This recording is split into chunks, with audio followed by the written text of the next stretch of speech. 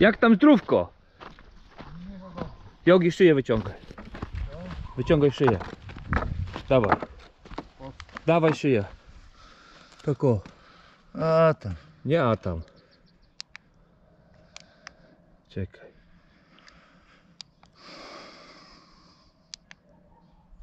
Ty, tu się włącza. Co ja robię? Czekaj, bo się denerwuję, bo to na antenie.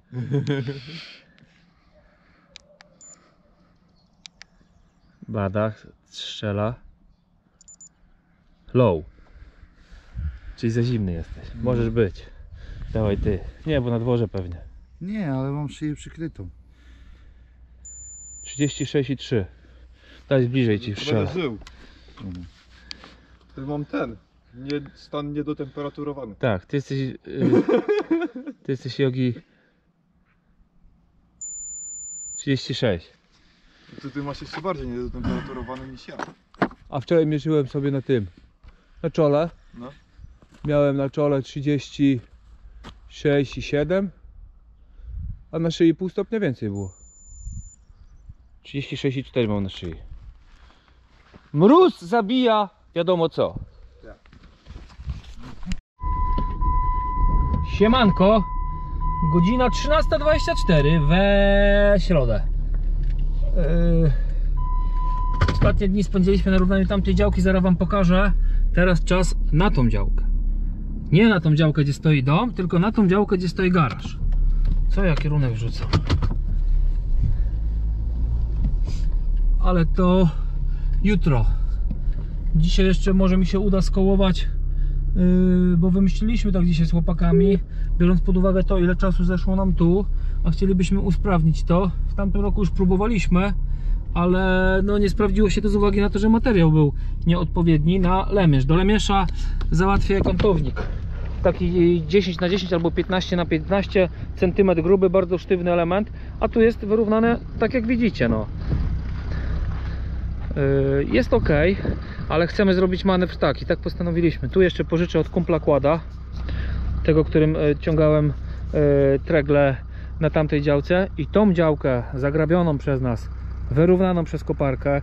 Na materiale może tego nie widać, ale no, na żywo jak się na oko przyjrzy, są jeszcze nie jest to idealnie, może tak, jest bardzo fajnie zrobione, oczywiście no, zdecydowana większość osób jakby tak miała zrobiona byłaby zadowolona, ja jestem zadowolony, ale jest możliwość, chcę spróbować to jeszcze bardziej zrobić, czyli jeszcze lepszą płaszczyznę zrobić, myślę, że się uda, do, byśmy wtedy mieli 4-metrową, yy, 4-metrowy kątownik na, na skarpówce, gdzie będę miał kontrolę prawo-lewo, jeszcze w tej osi też, yy, bo mogę łamać ramię Alexa, teraz muszę podpiąć przyczepę i jadę, bo zostało kostki trochę, ale w Dębnie znajomy ma taką samą z tego, z tego co, co się dogadaliśmy.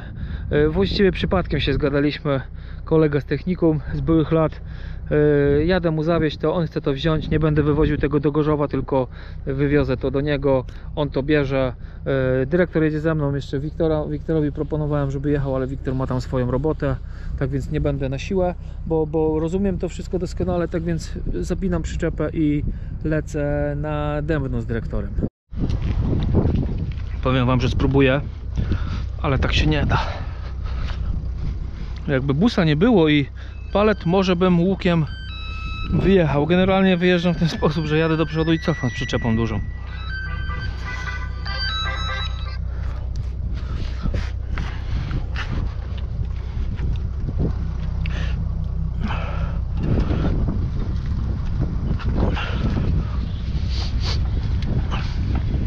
Teraz jest doskonały czas, bo tutaj praktycznie z obcymi lu- ludźmi teraz nie współżyjemy z żadnymi. Ja praktycznie obcych osób w tej chwili nie mam do czynienia. No co, pojedziemy do Dębna. Z jedną osobą będę miał do czynienia obcą. No wiadomo, że no kurczę, no jeżeli ktoś coś tam złapał, to ja tego nie wiem. Na czole nie jest napisane u dyrektora, ja mam koronę. I tak dalej. Tego się nie przeskoczy co ma być to będzie, jak będzie znaczy będzie trzeba, coś źle mówię jak będzie sytuacja taka że się coś złapie, no to się coś złapie, no, no już aha, przecież to jeszcze trzeba załadować, panie dzieju Dobra, ja zaczynam ładować.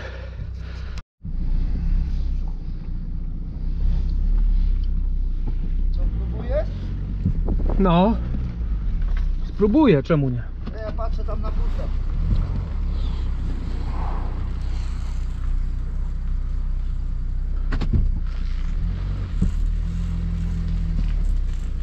On przeszedł tu, aby przeszło.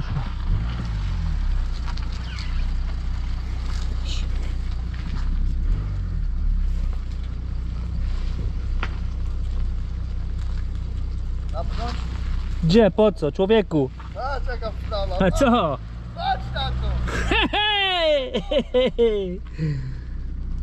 Jadziem, zobaczcie, tak to wygląda. Z tej perspektywy jest ok. Ruszamy. No, jedź, jedź. A te obrzeża? Dyrektor, co? Obrzeża z tyłu? Kurde. No bym pojechał. Obrzeży nie zapakowałem, zostało jeszcze 8 za kontenerem. Dobra, trzeba kawulec teraz wycofać. Wkładasz? Nie? lecimy. Jogi mi zjadł wszystkie ciuciu z samochodu. Gdzie? No to Fifi, byłem po kawę, przychodzę już to Fifi nie ma. Co? A słodkiego nie Nie jest słodkiego, a pijesz słodką kawę, a w ręce trzymasz słod- butelkę. Jest dowód, że kawa mi podpija Coca-Colę. Kawa, wiesz, to jest na wagę złota teraz w Butel- szklanej buteleczce. Ja butelki zbieram. Kawa, no przecież ty trzymasz ewidentnie butelkę moją i jest pusta. A jak szłem po kawę, była pełna. Złapałem cię na gorącym uczynku, nie zapomniałeś wyrzucić. Jakbyś jechał sam, byś wyrzucił pewnie, nie? Nie, nie zaśmiecam. Dobra, lecimy na dębno. My nie to wiem nie ile. Z 20 minut będziemy na miejscu. Ręcznie trzeba rozładować, tak jak załadować niestety. Ale to dużo tego nie ma. Ta grafitowa została. To wszystko co oprócz czterech palek, bo na czterech paletach mi jeszcze zostało w sumie cztery calutkie palety kostki, bo był inny plan, a inaczej się potoczyło, ale nie, nie ma tego złego. Zawsze można to w całości odwieźć, ale to też przy okazji jakieś, no bo to już jest waga wtedy, Tak. której niestety do Gorzowa zaraz nie wywiozę. A tu mamy niecałą paletę i parę krawężników, tak więc na spokojnie, ba- bardziej rekreacyjnie i odstresowująco. Ale jeszcze jeden plan mi zaświtał właśnie w głowie. Zaraz zweryfikuję i sprawdzę coś. Dodzwoniłem się, nie wiedziałem czy pracują czy nie do Farysa. Podjedziemy z dyrektorem, z Dębna zawsze to te 30 klocków bliżej, nieplanowane, ale pojadę jakąś syfonową piaskarkę sobie wezmę. Kupię, żeby była jasność, bo to nie jest tak, tak jak Wam e, mówiłem, ja nie chcę e, nadużywać, e, a sobie kupię, jest fajna pogoda, piaskareczka syfonowa, moja sprężarka pociągnie, na zewnątrz będę sobie mógł spokojnie te parę dupereli wypiaskować, takich naprawdę dupereli, tak więc tak to wygląda, przy okazji dyrektorowi pokażę gdzie, gdzie się zaopatruje? Wyposażenie warsztatu. Właściwie zaopatruje to może złe słowo, no ale gdzie został, skąd zostało wysłane wyposażenie do mnie. I tak miałem jechać, szukałem nawet na Allegro, zresztą dzięki Waszym podpowiedziom, bo ktoś mi tam przy ostatnim y, czyszczeniu tego pierwszego dyf, dyferencjału przedniego, ktoś napisał, że kup sobie małą, zwykłą, y, y, syfonową piaskarkę na małym kompresorku, spokojnie pojedziesz. Tego zawodowo, ani nie będę robił, nie będzie mi przeszkadzało też, że zrobię to pod chmurką, a dużo, dużo zaoszczędzone czasu będzie, no i na pewno będzie wyczyszczone dokładniej, dużo dokładniej. Będziecie zresztą mieli okazję y, zobaczyć to w najbliższym czasie przy okazji y, odnowienia, odnowienia czego? Yy, wspomagania. Wspomaganie to jest jedna sprawa następna na stół, a jeszcze też mi podpowiedzieliście, zrobię oczywiście yy, nalewarkę do oleju, odsysarkę, ale zrobię Yy, zrobię z gaśnicy sobie to. Zrobię z gaśnicy, to są yy, przeznaczone do wysokich ciśnień. Yy, Wspawam yy, kruciec ten od razu do sprężarki, że będę podpinał sprężarkę pod to, a na zewnątrz na wyjściu wyspałam jakąś rurkę, a to też dzięki Waszym podpowiedziom i właśnie chciałbym z tego skorzystać i to zrobić, żeby na zaś było podłączam chwila, moment po temacie, bo to trochę, trochę tutaj trwało jednak, jak było zresztą na załączonym poprzednim obrazku widać. Ole chmara, ty, ty jeszcze jest? nie widziałem takiej. Jogi jest podpieprzony, Wam powiem. Jak Jogi widzi roga albo Nie, imitację roga, Patrz, idą przez asfalt, tam, tam, w lusterko patrz. patrz ile byków. Patrz, już po bez podąży. No, ze 20 byków dużych. Ale ładne. O, ty Jogi, ty tak nie rób, bo jak ja jadę, Ale ładne. jak ja jadę, to ty człowieku nie krzycz w trakcie jazdy. Bo ja nie wiem co się dzieje. To, to już wiem na jakich rejonach pogubiły nogi. A druga, to już jest druga sytuacja taka. Jadę z kawą z Gorzowa, no jedziemy, jedziemy, gadamy, nagle stojemy, jedę do tego butu. A ja nie wiem, co się dzieje. Pokaż kawa białka. Już ci się poroże pojawiło w białkach zamiast dolarów. Nie, ja lubię lasy, chłopie. No ale takie byki jakby wyskoczyły przed ten, Z koroną jak jest to przed, gorzej. przed tego jakby wyskoczyły, przed auto. No, kasacja. No rozpieprzone auto, tak jakbyś konia. konia wjechał. uderzysz, to kasacja. No. Co dopiero w takiego... Tu jeden kolejny osób, o tym na początek faktów. Jedzie pociąg, zobaczcie ile... To co z wam ostatnio mówiłem, jakie profity musi mieć gmina Dębno z tego, z tego gazu, że tutaj z podatków, tak? Ale jest wagonów, kawa liczyłem wagony.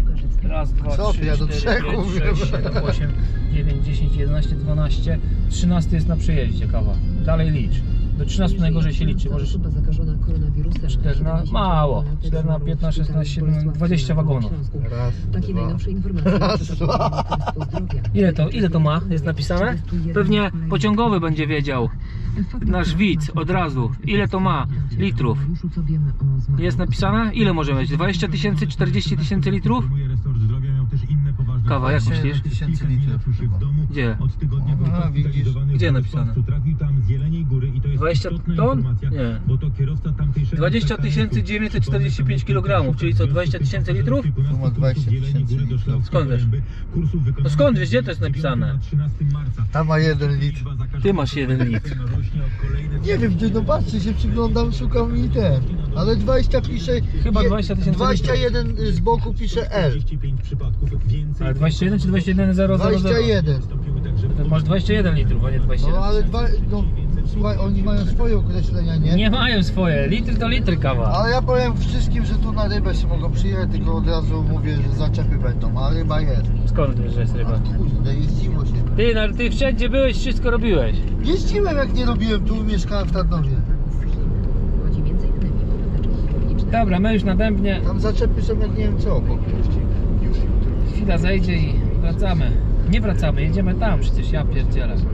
Chwila będzie przestoju.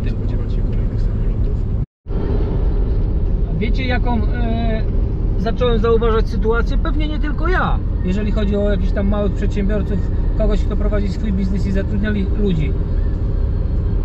Przez ostatni tydzień czasu, licząc tydzień kalendarzowy, przez tydzień czasu 10 osób z najbliższej okolicy albo z samego Myśliborza dzwoniło do mnie o pracę 100% przypadków. Na początku yy, zadzwoniły dwie osoby jednego dnia, to zacząłem się chwilę zastanawiać, ale szybko sobie dałem odpowiedź i następną osobę już się pytałem, a czemu, a gdzie wcześniej robiłeś, co tak nagle, przecież jest, yy, jest, jest yy, dzisiaj pracodawcy szukają pracowników, a nie na odwrót, no wiesz, Yy, no wiesz, nie pojechałem do Niemiec, nie pojechałem do Holandii, nie pojechałem do Belgii, bo nie możemy, bo przyjechaliśmy, boimy się, nie możemy jechać dalej, a wrócili chwileczkę przed yy, tą obowiązkową kwarantanną. Tak więc jest sytuacja taka, że wysoce prawdopodobne, że będzie sytuacja na rynku pracy taka, że pracownicy będą odrobinę tańsi z powrotem niż to jest e, w tej chwili. My oczywiście nie zatrudniamy, nie potrzebujemy, ja nie szukam e, i, nie planuję w najbliższym czasie, a poza tym wiecie jak u mnie jest. Jakieś już doświadczenie jest, jakieś doświadczenie jest, e, jeżeli będę potrzebował, ja będę szukał pracownika. Zdecydowanie.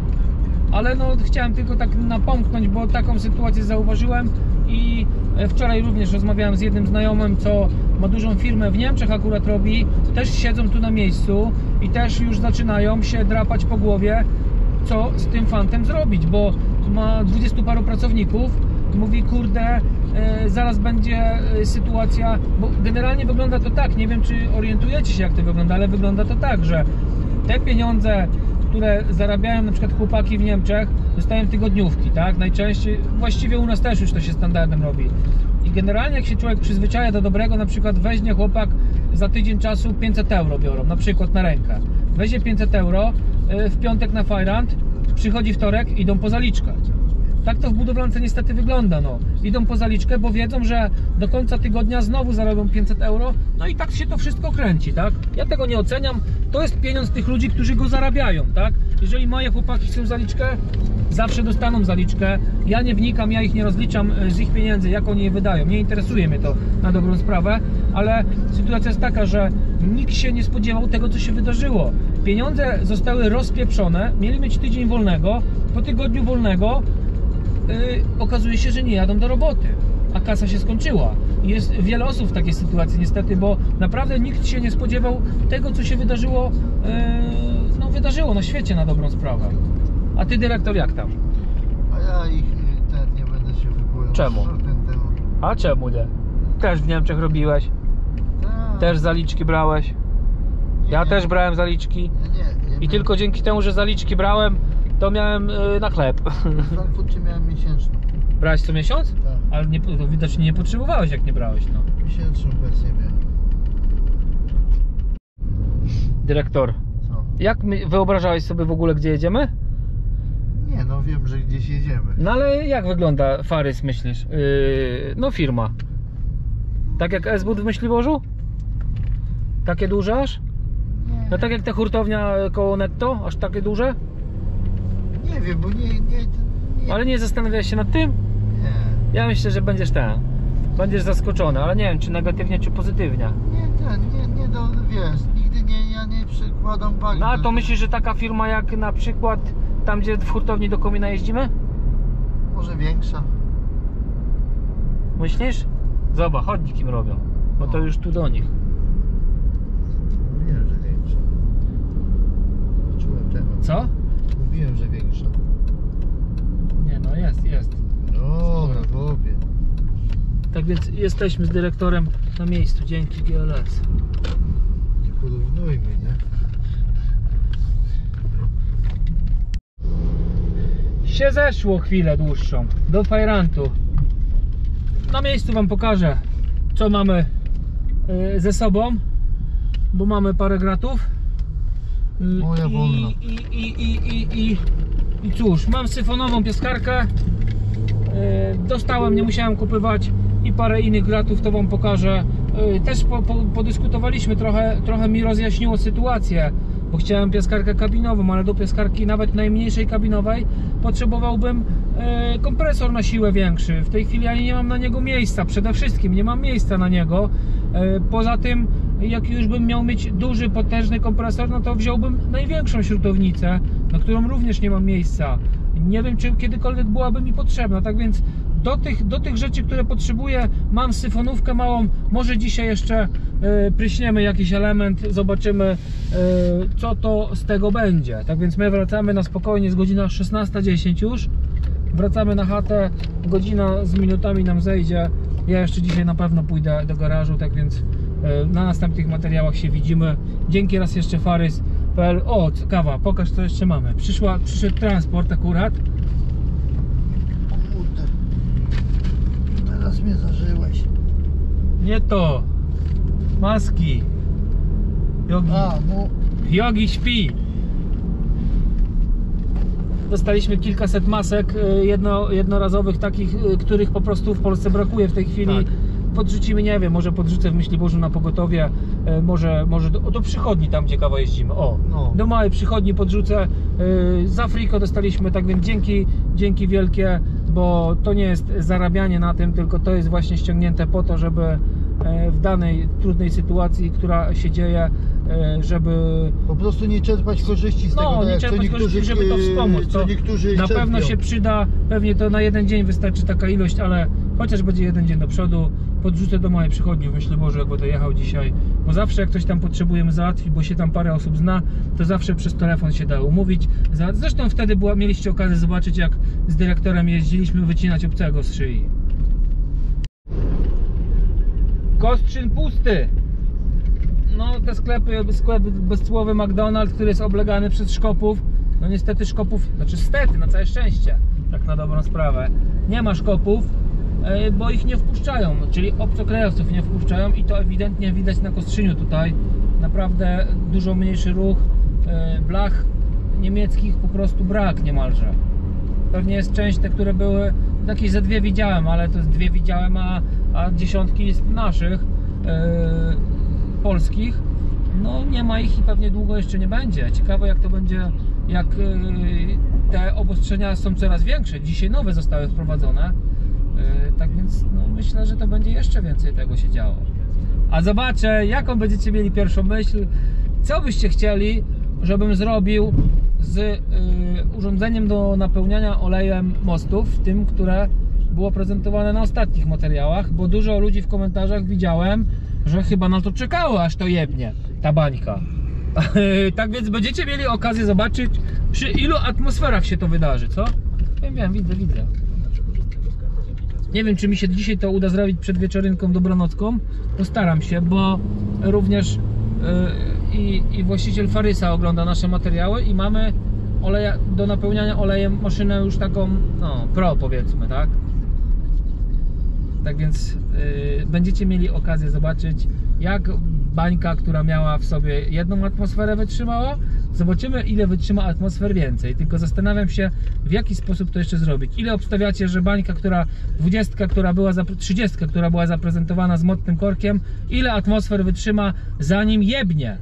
Dyrektor, A nie wiem, bo się nie znam. jak myślisz? Ile atmosfer? Nie wiem. Trzy? Cztery? No jak myślisz? Strzelaj. Czerwona skala. No mów ile. Nie wiem, z trzy. Dobra, zobaczymy. Dyrektor stawia 3. Ja obstawiam, że jeżeli, Nie znam się, że jeżeli, yy, jeżeli wentyl wytrzyma, no to uważam, że wyszczeli przy 4 atmosferach.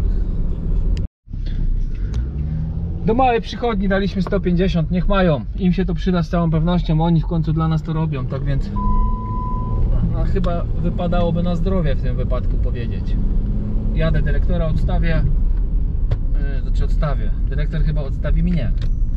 Odstawi mnie i Wolno. przybiorę się. Jeszcze coś powinienem dzisiaj sobie przetestować, no bo nie mogę się doczekać.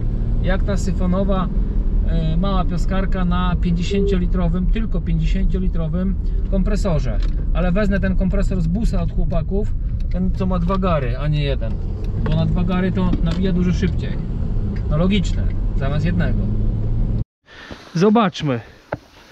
Jak już gramy w otwarte karty, u mnie gramy w otwarte karty, to zobaczmy czy da się małą piaskarką syfonową za kilkaset złotych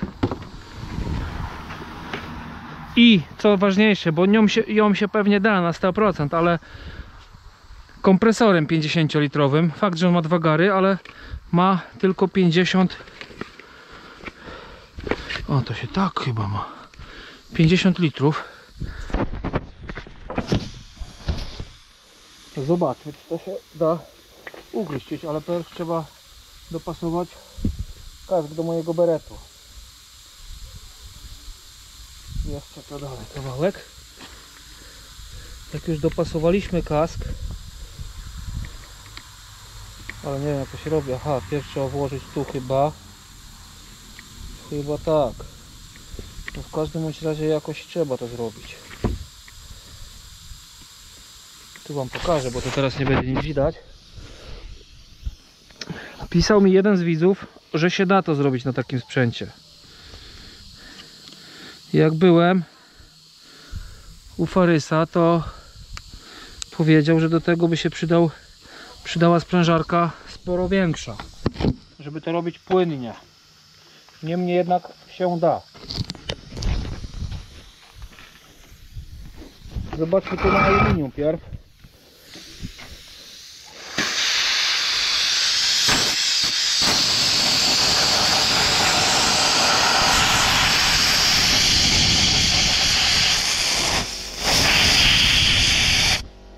Piasek mi nie leci co.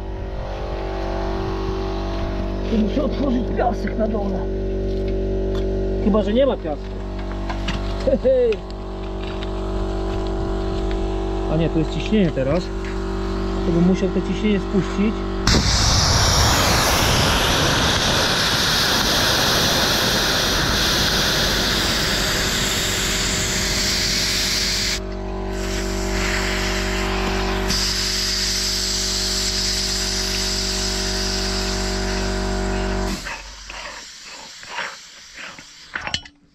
Piasek mamy czy nie mamy? Muszę berać sięgnąć. Echo. Jak tu teraz piasek wsypać? Piasku też mam paręset kilogramów. Ale piasek to trzeba będzie przez lejek chyba sypać. A nawet na pewno.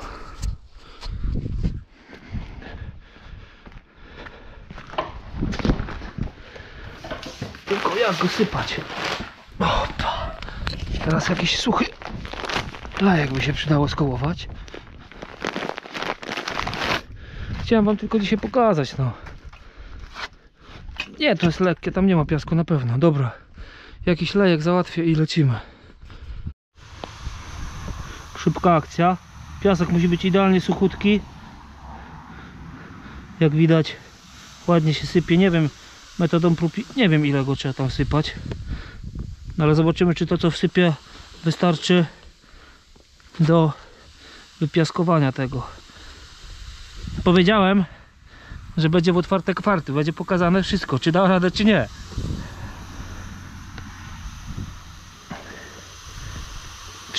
Kilo, 30 kilowe worki są. Te 10 kilo wsypię, zobaczymy. Znaczy na oko oczywiście. Czyli jedną trzecią worka.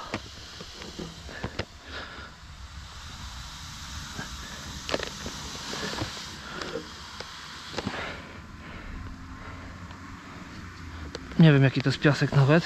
Znaczy u farysa do wzięcia też. Wiadomo, że nie będziemy sypać piasku z piaskownicy. Jedna trzecia? Może będzie. No to jeszcze trochę.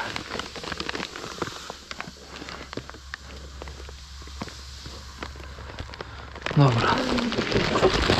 Kurde fuck. Styknie.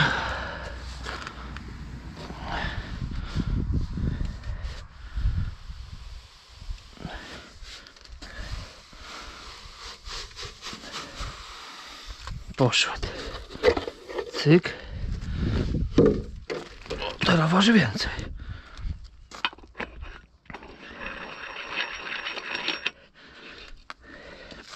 Ciach. To. Powietrze. Maseczka. I lecimy na Szczecin.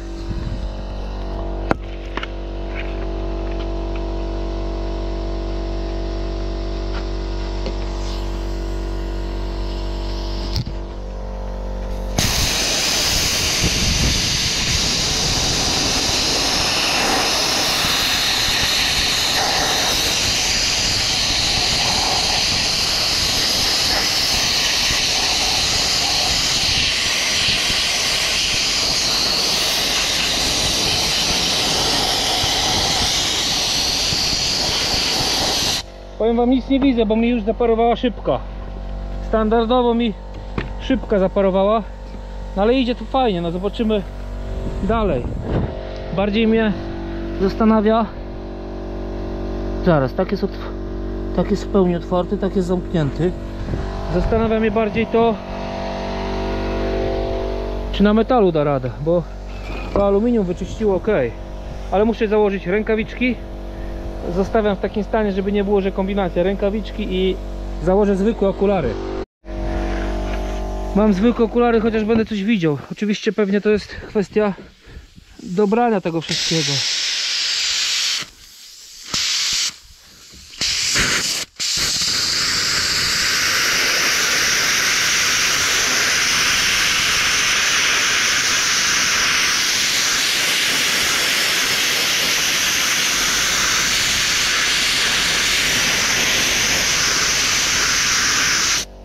No jak widać na załączonym obrazku. Wali po mordzie, nie powiem, że nie, ale zobaczcie. Zawsze to BHP zachowane, nie? spadły mi bryle z oczu. Damy radę.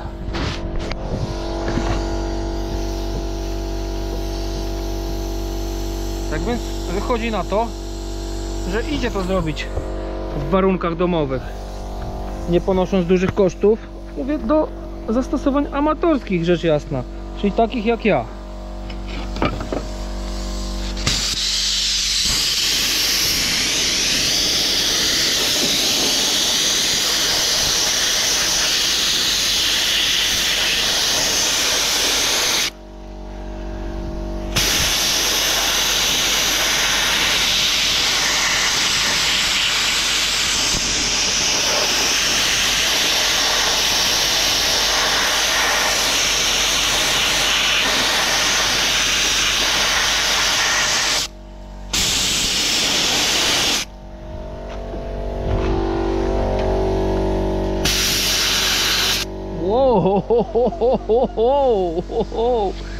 Muszę to założyć, wam powiem niestety. Kabarety. Prawdziwa akcja. Nie tam jakaś udawana. Prawdziwa, spontaniczna akcja. Pewnie będę jutro wyglądał jak Pippi Langström. Mordą całą w kropkach. Po uderzającym piasku z prędkością kosmiczną trzecią. Teraz pewnie za, za mało zrobiłem.